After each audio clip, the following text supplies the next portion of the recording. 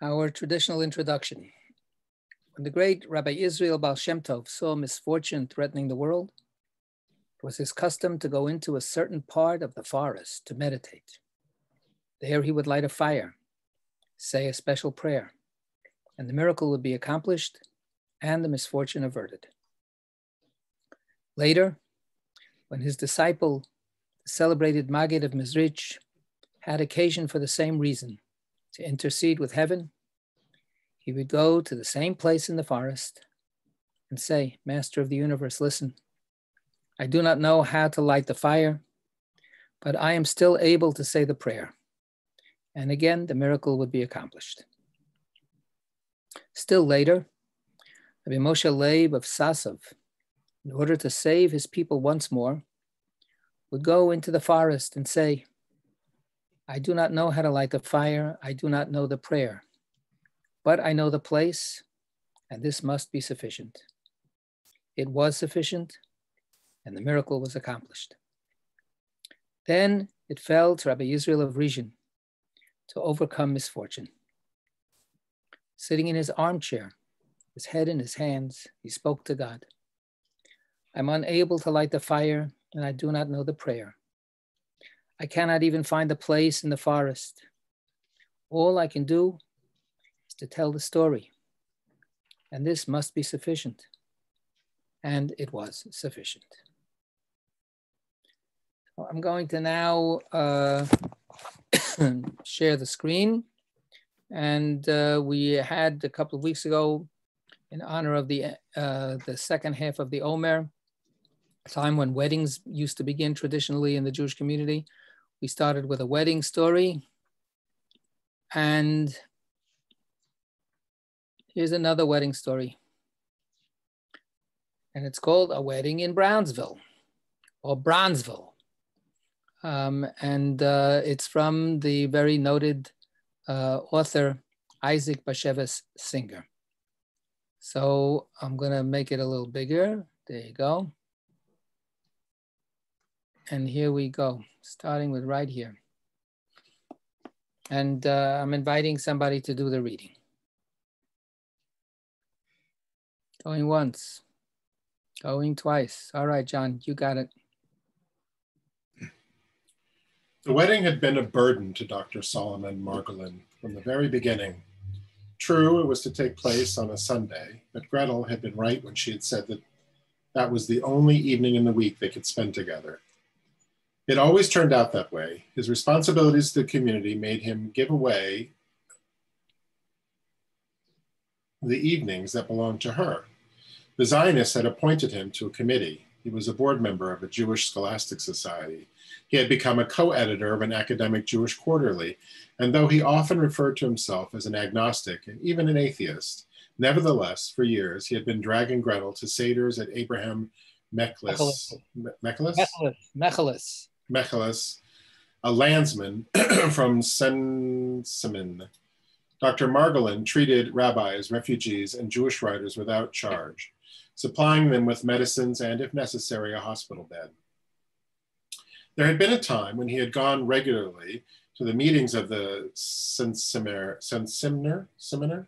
Sensiminer. Sensiminer Society, uh, had accepted positions in their ranks and had attended all the parties.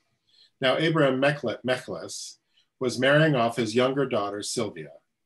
The minute the invitation arrived, Gretel had announced her decision. She was not going to let herself be carted off to a wedding somewhere out in the wilds of Brownsville. If, uh, if he, Solomon, wanted to go and gorge himself on all kinds of greasy food, coming home at three o'clock in the morning, that was his prerogative. Okay, so let's just uh, make sure that we're all um, aware of what this background is that we that we have set up. So, so this doctor, he's a medical doctor, but he's also very well educated and very well connected in the community. And the, uh, the just to make sure that we get it clear, a landsman, everybody knows what a landsman is, I hope. A landsman is a person from the same town back in Europe. So this was an idea that when you came to the United States, um, Jews tried to find people, not just family members, but people that they knew from the old country, from their from their original town. So a Landsman is a person from the old land, and the Landsmannschaften were social uh, clubs that were organized according to where you came from. So uh, once upon a time, when when uh, when Zelda and I lived on the Lower East Side in the in the early '70s, um, if you walk down East Broadway, every single storefront had shingles because it was either the storefront or it was upstairs um, of another Landsmannschaft. So there were all kinds of people uh, from from all kinds of different towns, and uh, where we see this also unfortunately, is when we go to cemeteries. Um, we have uh, cemetery uh, um, sections that have been uh, uh, purchased by synagogues and so on. But in the old days, they were purchased also by these Landsmannschaften, by these social club uh, uh, organizations, so that everybody would be buried together. So what's happening here is that this Dr. Margolin, he had gone regularly to meetings of the St. Simoner society because he came from Saint Simon, right? You got it, Saint Simon, Saint Simon, but the the Jews pronounce it Saint Simon, um, and uh, just like Satmar is actually Satomar, it's Saint Mary. Um, so these are you know towns in Europe that the Jews came from. So he was part of that Landsmannschaft, and now there's a wedding happening among the social uh, group from that Landsmannschaft, and he feels that he has to go, and Gretel, his wife, doesn't want to go. Okay. Dr. Margolin admitted to himself that his wife was right. When would he get a chance to sleep? He, he had to be at the hospital early Monday morning. Moreover, moreover, he was on a strict fat-free diet. A wedding like this one would be a feast of poisons. Everything about such celebrations irritated him now the anglicized Yiddish, the Yiddishized English, the ear-splitting music, and the unruly dances. Jewish laws and customs were completely distorted. Men who had no regard for Jewishness wore skullcaps, and the reverend rabbis and cantors aped the Christian ministers. Whenever he took Gretel to a wedding or bar mitzvah, he was ashamed. Even she, born a Christian, could see that American Judaism was a mess. At least this time he would be spared the trouble of making apologies to her. Usually, after breakfast on Sunday, he and his wife took a walk in Central Park, or when the weather was mild, went to the Palisades. But today, Solomon Margolin lingered in bed. During the years, he had stopped attending the functions of the St. Simoner Society. Meanwhile, the town of St. Simon had been destroyed. His family there had been tortured, burned, gassed. Many St. Simoners had survived and later come to America from the camps, but most of them were younger people with whom he, whom he, Solomon, had not known in the old country. Tonight, everyone would be there, the St. Simoners belonging to the bride's family and the Teresh Polers belonging to the grooms. He knew how they would pester him, reproach him for growing aloof, drop hints that he was a snob. They would address him familiarly, familiarly familiarly, uh, slap him on the back, drag him off to dance. Well, even so, he had to go to Sylvia's wedding. He had already sent out the present. The day had dawned, gray and dreary as dusk. Overnight, a heavy snow had fallen. Solomon Margolin had hoped to make up for the sleep he was going to lose, but unfortunately, he had waked even earlier than usual. Finally, he got up. He shaved himself meticulously at the bathroom mirror and also trimmed the gray hair at his temples. Today, of all days, he looked his age. There were bags under his eyes and his face was lined. Exhaustion showed in his features. His nose, his nose appeared longer and sharper than usual. There were sec. deep folds at the sides of his mouth. Sec, okay. After breakfast, he stretched out on the living room sofa. From there, he could see Gretel, who was standing in the kitchen ironing blonde, faded, middle aged. She had on a skimpy petticoat, and her calves were as muscular as a dancer's. Gretel had been a nurse in the Berlin hospital where he had been a member of the staff. Of her family, one brother, a Nazi, had died uh, of typhus in a Russian prison camp. A second, who was a communist, had been shot by the Nazis.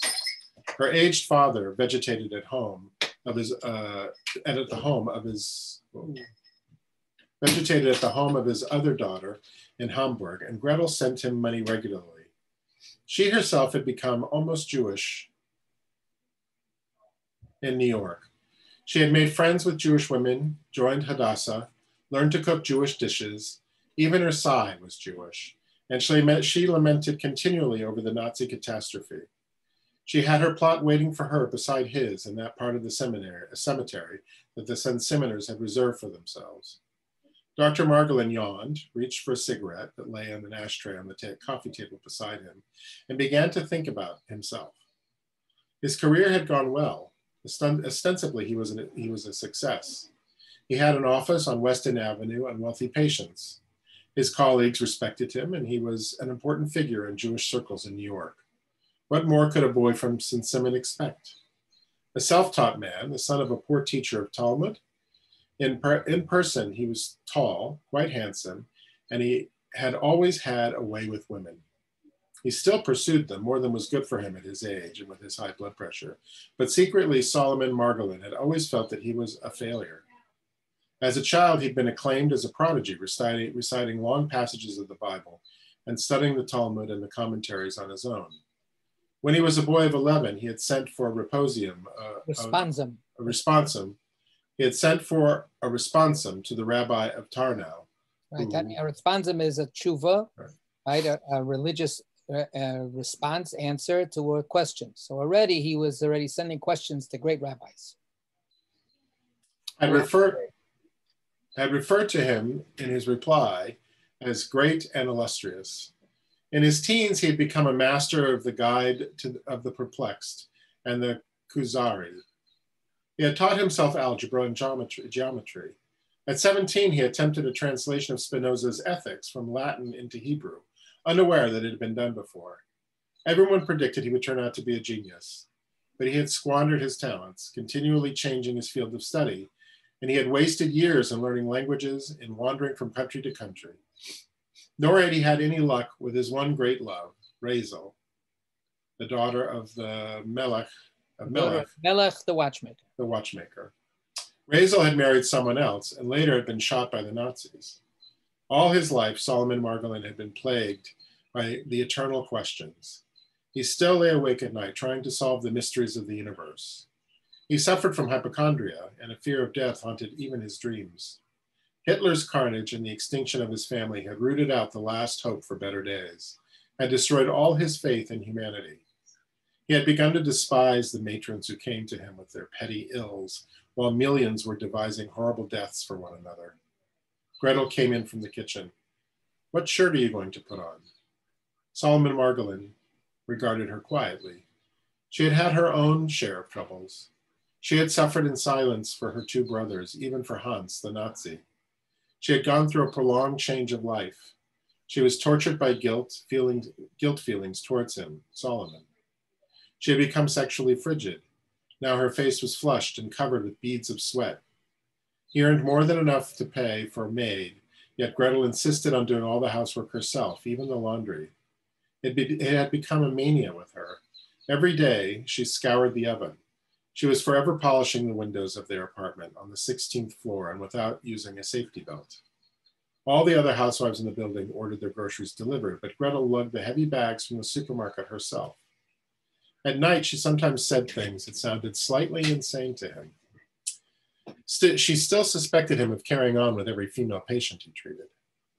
Now, husband and wife sized each other up wryly, feeling the strangeness that comes from great comes of great familiarity.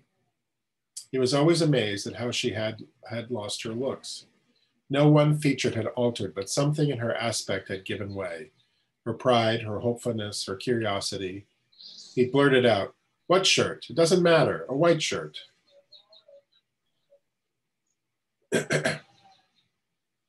You're not going to wear the tuxedo? Wait, I'll bring you a vitamin. I don't want a vitamin.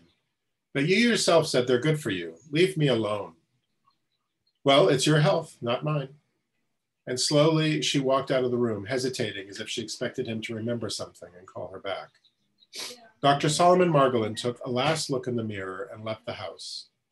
He felt refreshed by the half hour nap he had, he had had after dinner. Despite his age, he still wanted to impress people with his appearance. even the Sensiminers. He had illusion, he had his illusions. In Germany, he had taken pride in the fact that he looked like a Junker, and in New York, he was often aware that he could pass for an Anglo-Saxon.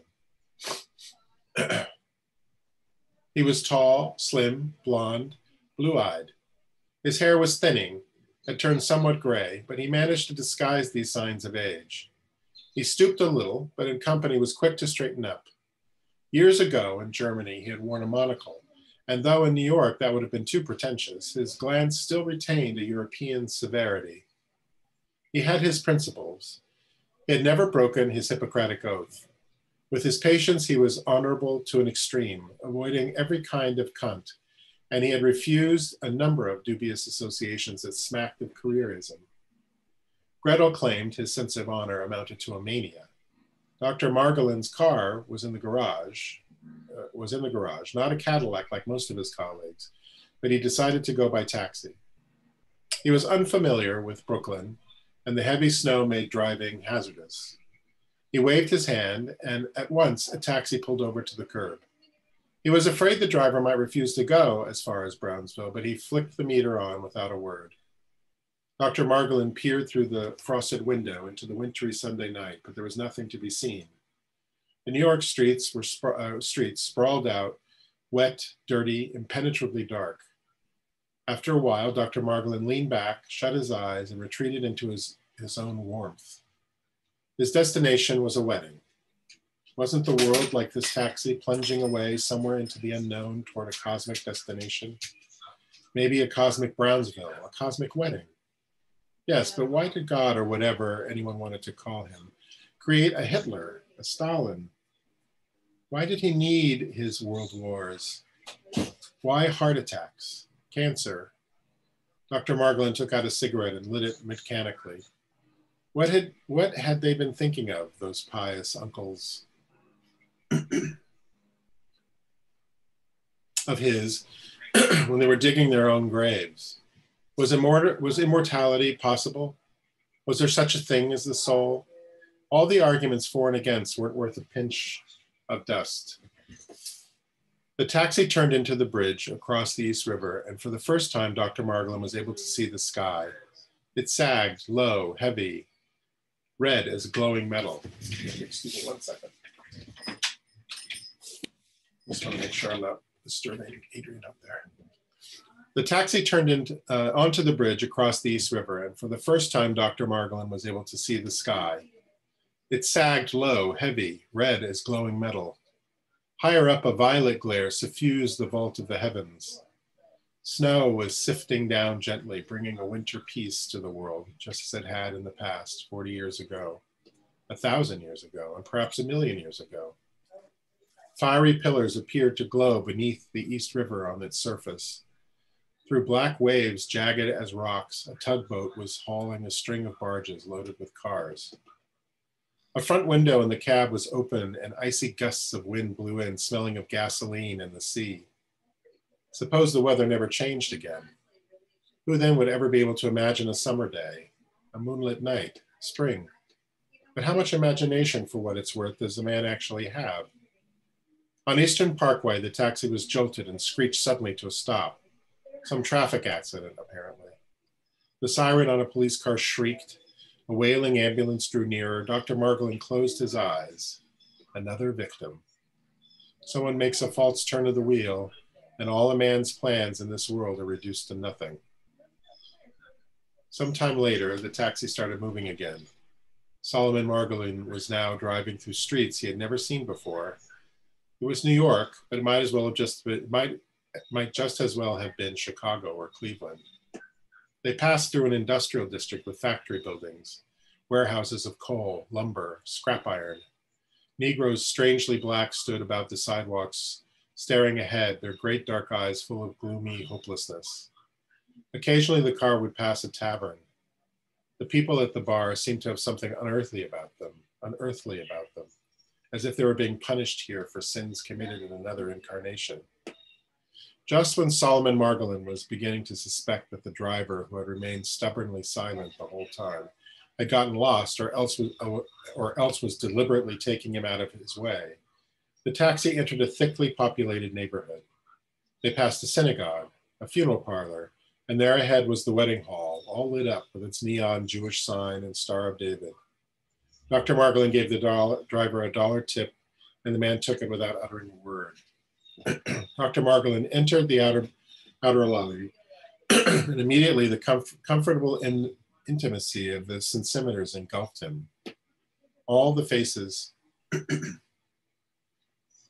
he saw were familiar, though he didn't recognize individuals. Leaving his hat and his coat at the check room, he put on a skull cap and entered the hall. It was filled with people and music, with tables heaped with food, a bar stacked with bottles. The musicians were playing an Israeli march that was a hodgepodge of American jazz with Oriental flourishes. Men were dancing with men, women with women, men with women. He saw black skull caps, white skull caps, bare heads. Guests kept arriving, pushing their way through the crowd, some still in their hats and coats, munching hors d'oeuvres, drinking schnapps. The house, the hall resounded with stamping, screaming, laughing, clapping. Flashbulbs went off blindingly as the photographers made their rounds. Seeming to come from nowhere, the bride appeared, briskly sweeping up her train, followed by a retinue of bridesmaids. Dr. Margolin knew everybody, and yet nobody. People spoke to him, laughed, winked, and waved, and he answered each one with a smile, a nod, a bow, Gradually, he threw off all his worries, all his desperation. Depression. He became depression. Depression. he became half drunk on the amalgam of odors, flowers, sauerkraut, garlic, perfume, mustard, and that nameless odor that only Sensiminers emit. Hello, doctor. Hello, doctor. Uh, hello, Shlome that. Shloime David. Shloime. David. Shloime David. You don't recognize me, eh? Look, he forgot. There were encounters, there were the encounters, the regrets, the reminiscences of long ago. But after all, we were, weren't we neighbors? He used to come to our house to borrow the Yiddish newspaper. Someone had already kissed him, and a badly shaven snout, a mouth reeking of whiskey and rotten teeth. One woman was so convulsed with laughter that she lost an earring. Margolin tried to pick it up, but it had already been trampled underfoot. You don't recognize me, eh? Take a good look. It's Zissel, the son of Chaya, Chaya.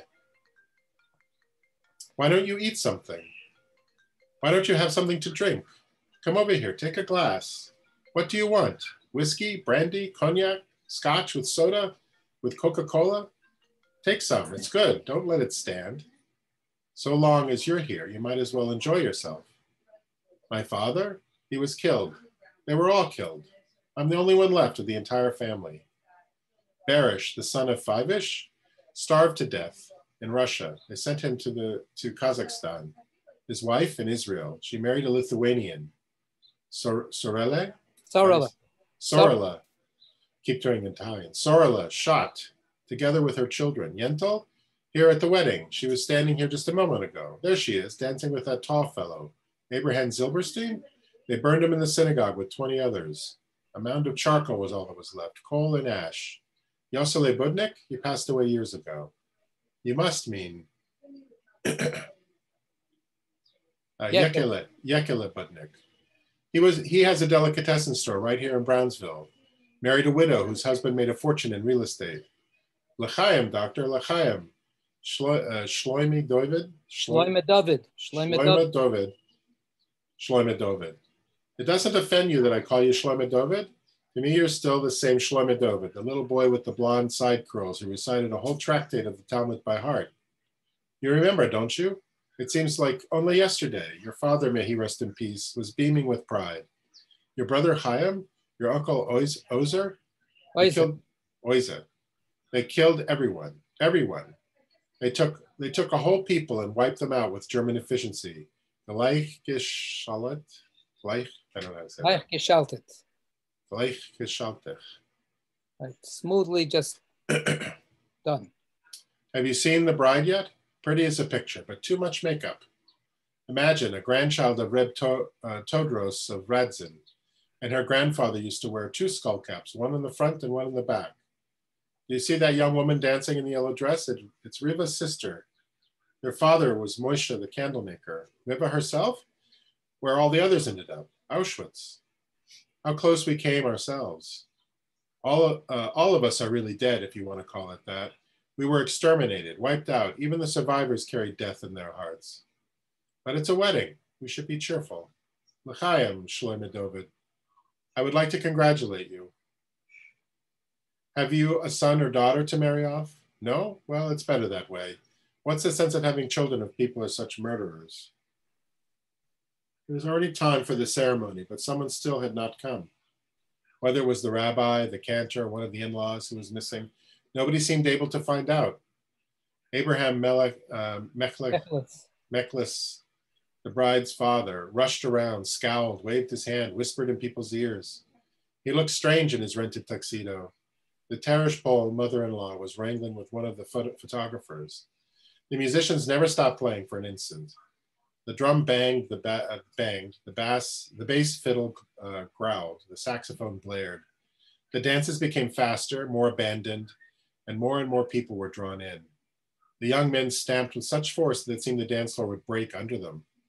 Small boys romped around like goats, and little girls whirled about wildly together. Many of the men were already drunk. They shouted boasts, howled with laughter, kissed strange women. There was so much commotion that Solomon Margolin could no longer grasp what was being said to him and simply nodded yes to everything. Some of the guests had attached themselves to him, wouldn't move, and kept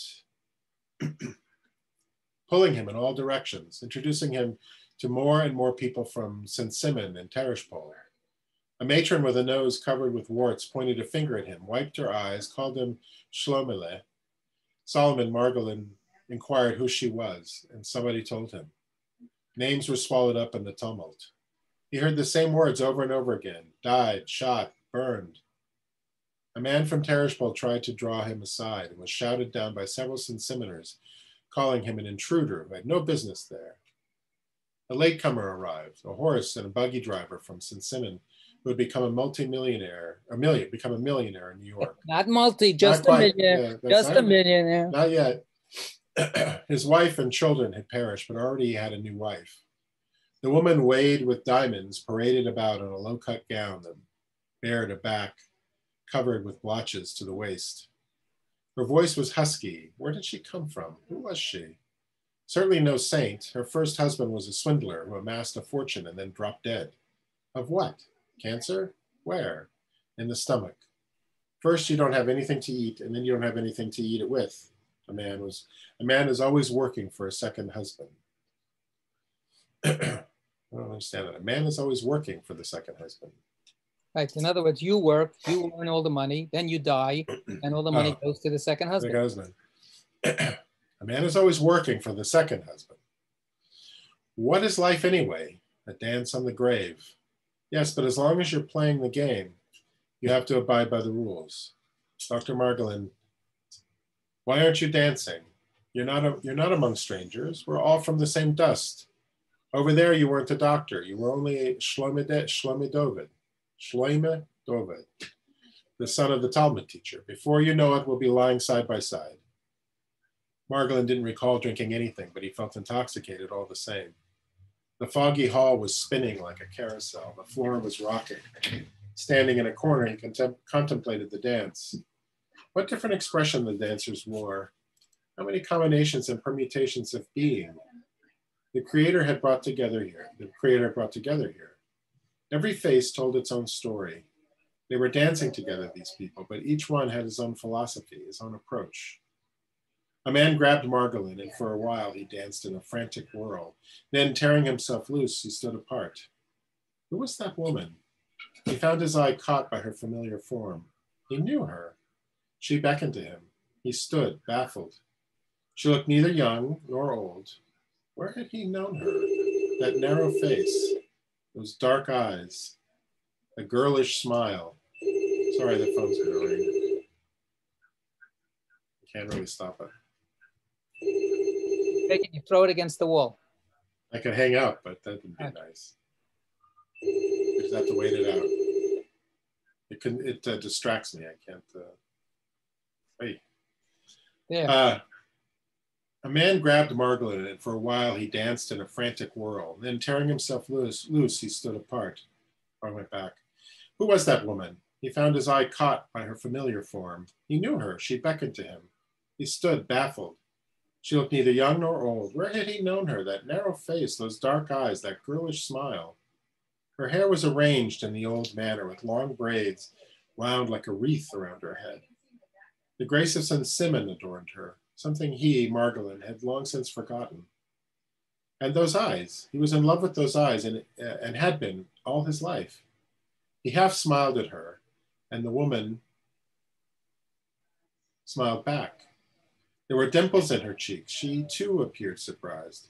Margolin thought he realized he Oh. had begun. Oh, though he Oh. Margolin, though he realized he had begun to blush like a boy, went up to her. I know you, but you're not from. But you're not from St. Simon.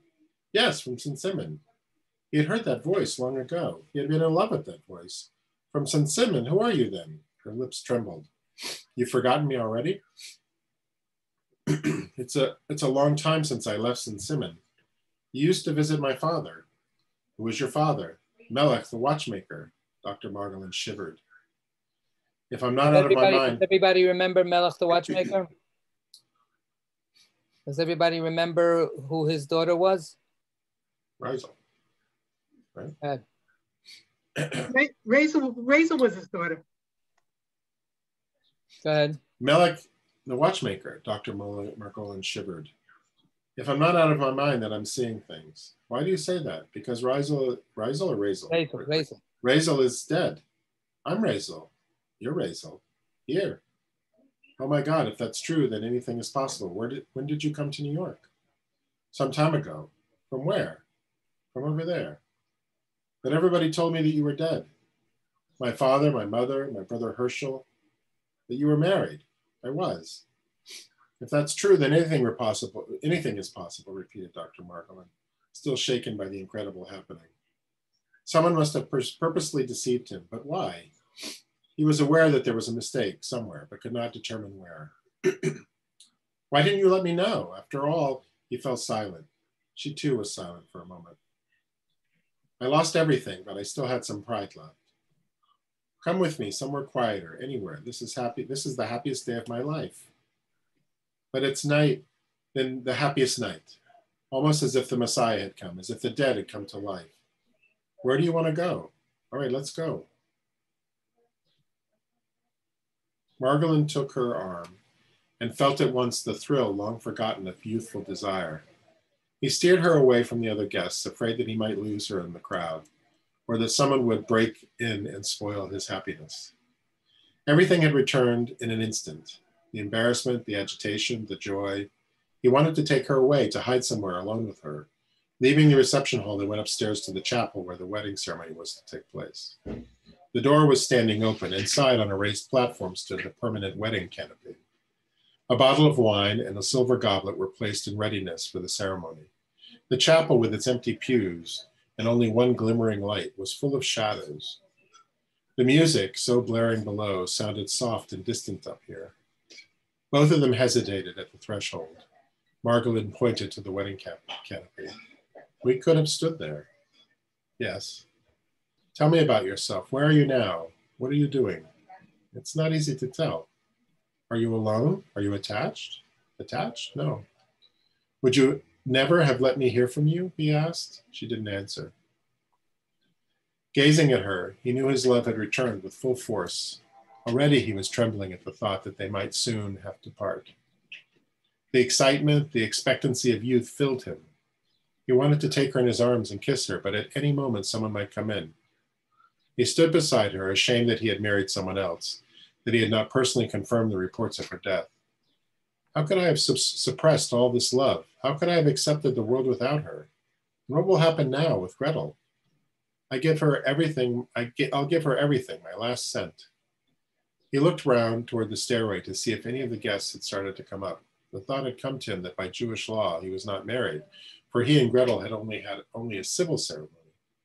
He looked at, at Rizel. Razel, according to Jewish law, I'm a single man. Is that so? According to Jewish law, I could lead you up there and marry you. She seemed to be considering the import of his words. yes, I realize. According to Jewish law, I don't even need a ring. One can get married with a penny. Do you have a penny? He put his hand in his breast pocket, but his wallet was gone. He started searching in his other pockets. Have I been robbed? He wondered. But how? I was sitting in the taxi the whole time. Could someone have robbed me here at the wedding? He was not so much disturbed as surprised. He said falteringly, Strange, but I don't have any money. We'll get along without it. But how am I going to get home? Why go home? She said, countering the que- with a question. She smiled that with that familiar smile of hers that was so full of mystery. He took her by the wrist and gazed at her. Suddenly it occurred to him that this could not be his Raizel. She was too young. Probably it was her daughter who was playing along, playing along with him, mocking him. For God's sakes, I'm completely confused, he thought. He stood bewildered, trying to untangle the years. He couldn't tell, for, tell her age from her features. Her eyes were deep, dark, and melancholy. She also appeared confused, as if she too sensed more, sensed some discrepancy. The whole thing is a mistake, Margolin told himself. But where exactly was the mistake? And what had happened to the wallet? Could he have left it in the taxi after paying the driver? He tried to remember how much cash he had in it, but was unable to. I must have had too much to drink. These people have made me drunk, dead drunk. For a long time he stood silent, lost in some dreamless state, more profound than a narcotic trance. Suddenly he remembered the traffic collision he had witnessed on Eastern Parkway.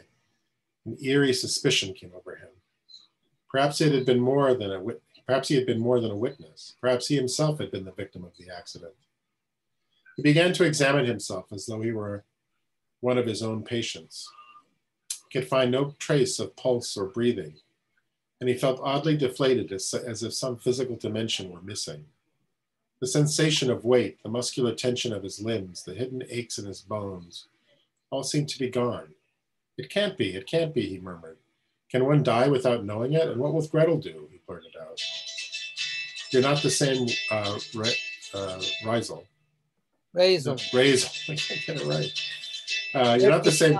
Gertrude Stein. She said it. Okay. A Raizel is a Raizel is a Raizel. Okay. You're not the same Raizel. No, then who am I? Unless we're both dead. what do you mean? They shot Raizel. Shot her? Who told you that? She seemed both frightened and confused. Silently, she lowered her head like someone receiving the shock of bad news. Dr. Margolin continued to ponder. Apparently, Raizel didn't realize her own condition. He had heard of such a stage. What is it called? Hovering in the world of twilight. But death couldn't be that simple. This kind of survival would be less than oblivion. He leaned over and whispered in her ear, What's the difference? As long as we're together. I've been waiting, I've been waiting for that all these years. Where have you been? She didn't answer. He didn't ask again. He looked around. The empty hall was full, all the seats taken. The ceremonious hush fell over the audience. The music played softly. The cantor intoned the benedictions. With measured steps, Abraham Mechles led his daughter down the aisle.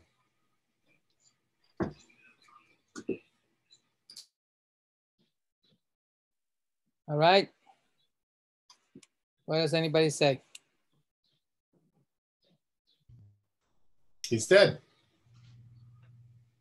Why didn't you just say that and, and save us, you know, five pages of a story? Right? Well, because it's a great story. Uh, Carol. Uh, I, I, I believe two, two things uh, struck me. One, he, he, he was probably the victim of the accident and this is his twilight, this dreaming. And one of the things that hit me, and I'm sure you'll understand where I'm coming from, Rabbi, that when they talked about, uh, shoot, I, Everybody- I'm sorry, I've got to take it. It's the chapel. All right. I'll be back. Good. So you put yourself on mute. Thank you. Josie. Uh, yes, I'm rereading one of my favorite books by him, Shadows on the Hudson.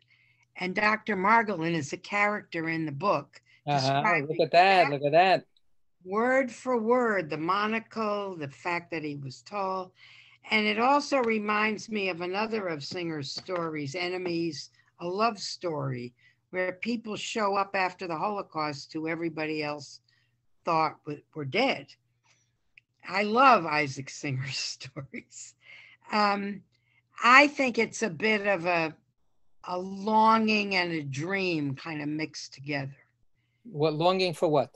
For the for the woman he loved, for the past where he had all these ideals and he was considered a child genius and and life life was simple in those shtetls and towns. I, I think part of him would have been happier there had the world not crashed around them. It's so typical of Singer to mix all these things together. Right. Yeah, he might not have died. It might he might be still sleeping on the sofa dreaming after dinner. Well, those you know, it's like Chekhov said. You know, those things are indicative of like why do we have to know he was sleeping on the sofa? It doesn't propel the story unless there's some reason. Yeah. Um, anybody else? Anybody else want to chime in here? Come on, Meryl. Yeah. So I can't really talk right now, but this story touched me right from the beginning before I knew he was dead. There was something about this. It's just very touching. I can't explain it. It has, must have something to do with, you know, something that's going on with myself, but um, I just found it very touching. And, you know, I'm sort of weepy right now. And um, I don't know if anybody else feels that way, but I, it, it was just a, the, the whole story, even the ending. That the ending was sort of like a Twilight Zone kind of an ending, Mm. but but even without that, um, I, I just found the whole thing just so um, moving and disturbing, and you know, I, I can't explain why, but I'm just expressing how I'm feeling right now. like which pieces? Do you remember a particular piece that hit you? You know, what, what elements, what details? Um, well, starting from the beginning, you know, he sort of went in a totally different direction uh, when he got married um, and left all of that um, past behind. I found that very sad. Um, uh, the fact that um, now at, at the wedding, you know, constantly feeling detached from everybody and, and everything, just kind of like going through the situation almost like a zombie. Um, I just just kind of felt touched and um, sad about that. I guess that's what it is. You. You know, they might all be dead. Wait, wait, wait. Carol, Carol, go ahead. Okay, um, first of all, Rabbi, it was not, it was not business. She just needed information, so there's, it wasn't anything I had to do. Um, but as, as I was saying, I, based on the story, I had the feeling that he died in the acc, in, in the, uh, uh, in the taxi, and he was, he was like dreaming, and the reason he thought Razel wasn't Razel or could have been her daughter, because he was remembering her when he saw her last. And I think you remember people when you see them last. But one of the things that struck me in the beginning was talking about Gretel not being being Christian, he being Jewish, and, and how the society bought property and the two of them were going to end up together. And that made no sense to me because you can't do interfaith burials unless he was taking a poetic license.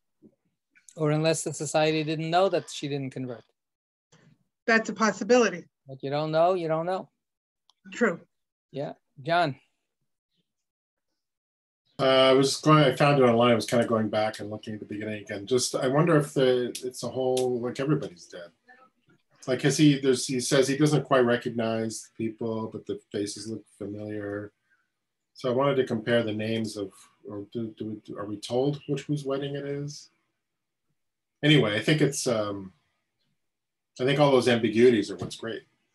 I mean, there's a there's certainly a lot of people are dead in this story, right? I mean, it's it's All they're talking about. That's all they're talking about. It's a wedding in Brownsville, and then as people are catching up, just the catalog of death is endless. Oh, this one died here. This one over there. This one, their whole family. What do you expect? This one, this. this. Um, there's a kind of a question about whether there is anything beyond death. Not just, you know, is there life? Is if, is there any life after the death of the Jewish people? You know, the, the Jewish people in a certain major way died as a people. Um, their way of life. It's not so much, you know, that that the the the what Josie was saying. You know, in the old country, life was simpler. Life was human, and there was all kinds of things, and he had plenty of, you know, questions about how to live his life. Uh, you know, when he ran away from being a, a Talmud prodigy to do all kinds of other things. That was all beforehand. That was complicated enough, but it was their complicated life. You know, and then it was all like it says in the story. It was all wiped clean all wiped out. Um, and the singer feels this, you know, deeply, deeply, deeply. Um, and, uh, you know, he has this wonderful, amazing, successful career in America. You know, it, it really did, in a certain sense, um, you know, it, it constantly, all of all of the the survivors, each one survived in their own with their own struggle, with their own way. Um, but to be a success and to be a success as a Jewish voice, you know, he says early on, you know, there's no hiding it. American Jewish life is a mess, right? It's like he, you know, you can't fool him. He knows what the real deal was. You know, he may, he may have, you know, left it a little bit or he may have done whatever he did, but, you know, this other stuff, don't, don't, don't, don't kid me. Um, so there's this tremendous, um, obviously, you know, weight for the people who went through it, for the people who lost everything and lost everybody. And even if they're alive, are they really alive? You know, so is everybody, everybody that counted, you know, was if if everybody that counted was dead, then what's next? Um, you know, and that's and yet, what's the last line of the story? The wedding line, starts.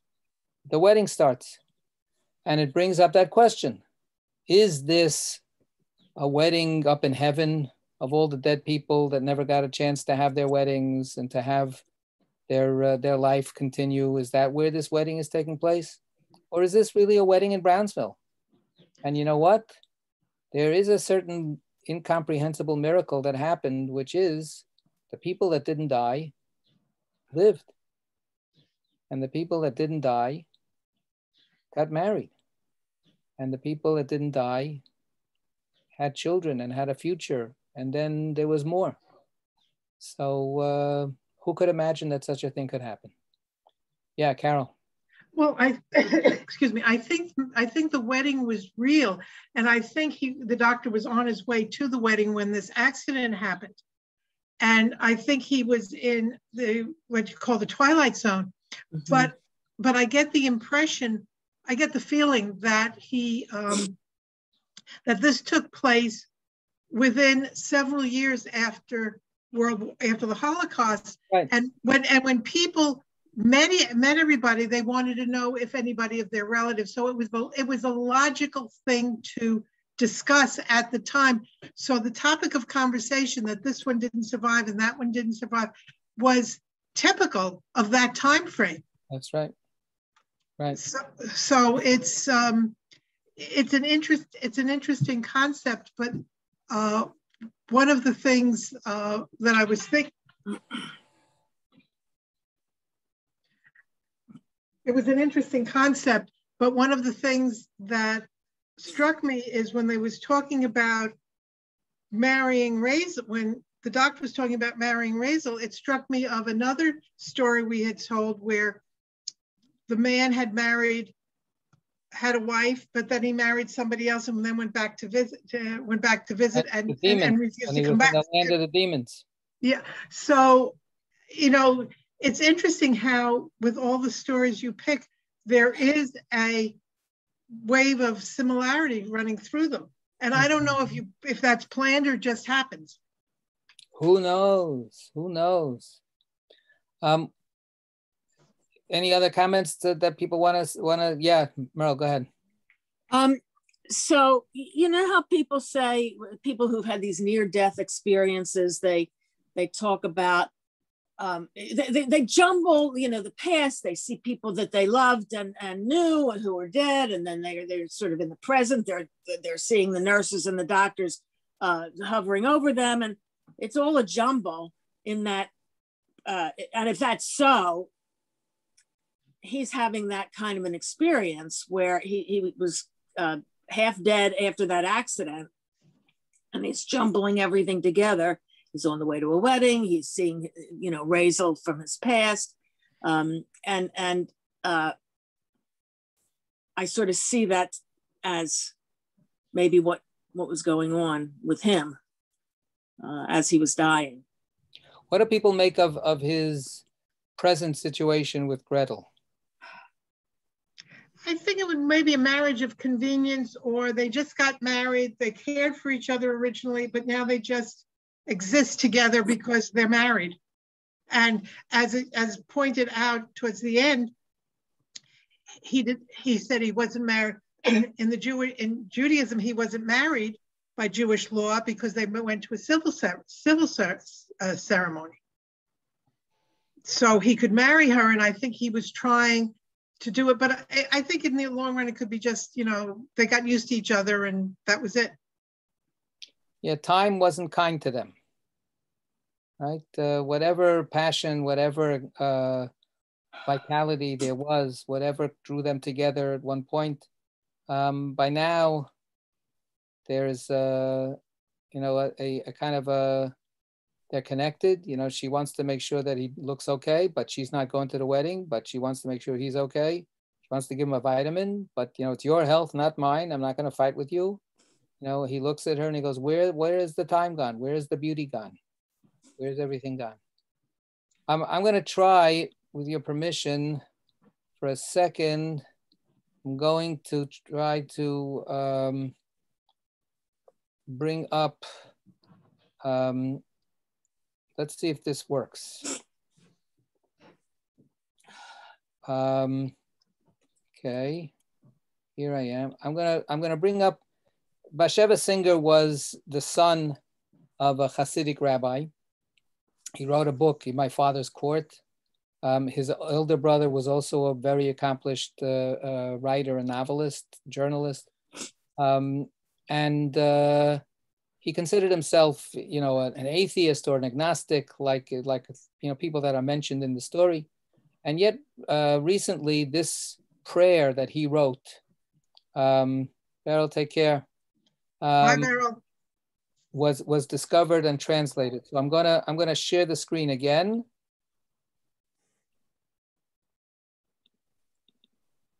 Can you see that? Can you everybody see this? Yeah. Okay. So he wrote this prayer. This is the prayer, and uh, Isaac Singer. It's it's on an invoice that he got from this uh, uh, company, um, and uh, um, it was on a receipt that uh, from a rent receipt from the apartment that he lived in, right, where he paid on the Upper West Side seventy three dollars and fifty cents. Those were the those were the days of affordable housing. Um, anyway, so I thought uh, we might look at this prayer for a second. Um, here it is. John, you got it? You see it? Isaac Bashevis Singer, Master of the universe, fill my heart with love for my people and rest for the soul. Let me see the Creator in each and every creature, its mercy for everything, for each thing it creates. There's not a single drop of water, water or particle of dust in which your light is lacking or that is outside your domain. There is no creature without its creator. Those who know this live always in joy. Their parents, their parents are but bodies that are here today and are tomorrow in their graves. All their friends, all their possessions and honors are like a passing shadow. They are themselves like passing clouds, like Jonah's tree. But you, you have always existed and will always exist. You are the only true being, the essence of all things. Only for you are all problems solved, all challenge, cha challenges effortless. There's nothing devious in you, no, no retribution, injustice, or fault. Evil lives in all things temporary, not in what exists eternally. You know why you created evil, and who are we to question your integrity?